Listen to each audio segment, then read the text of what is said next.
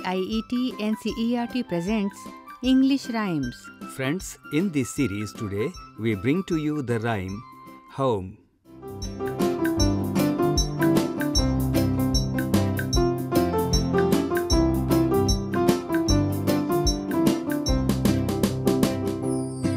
Hello, children. Hello. Hmm, tell me, what do you call the place you live in? Home. Correct. What do you call the place where the honeybee lives? Hmm? Hive. Think about it. Everyone, birds and animals, have a name for their home. Let me tell you the names of some homes through this rhyme. It's called home. I might have lived in a shell if I had been a snail, or in a great wide tossing sea if I had been a whale, or in a busy, noisy hive if I'd been born a bee, or a bunny in a burrow eating lettuce for my tea.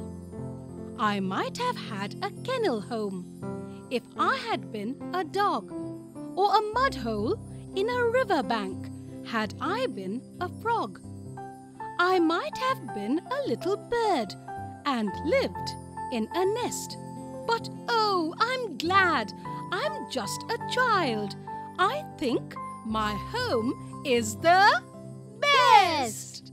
Now, let's sing out this rhyme together, okay? All right. I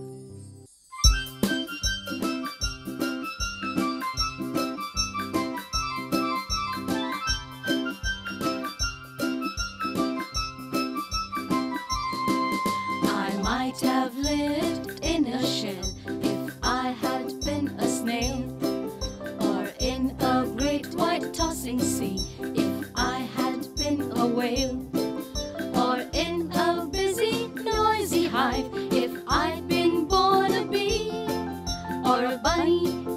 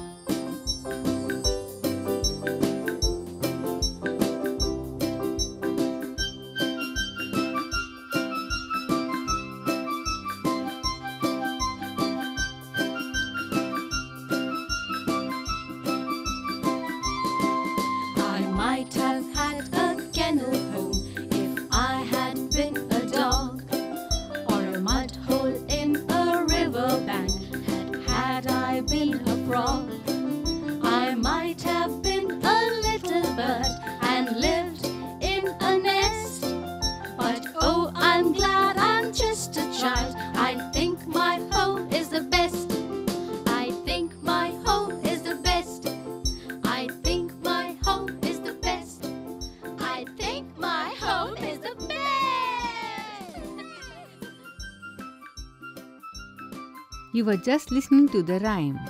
Home. Concept and coordination Dr. R. Meghanathan. Singers Parvati Poddar and children. Technical coordination M. Upendranath.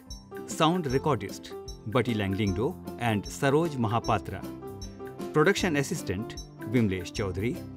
Produced and directed by Ajit Horo. This program is presented to you by CIET NCERT New Delhi.